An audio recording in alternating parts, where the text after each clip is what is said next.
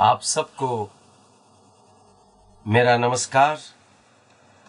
मैं हूँ उदित नारायण और आप सुन रहे हैं रेडियो मधुबन 90.4 एफएम। सुनते रहिए, मुस्कुराते रहिए। आप सभी को मेरी तरफ़ से 26 जनवरी गणतंत्र दिवस की बहुत बहुत शुभकामनाएँ।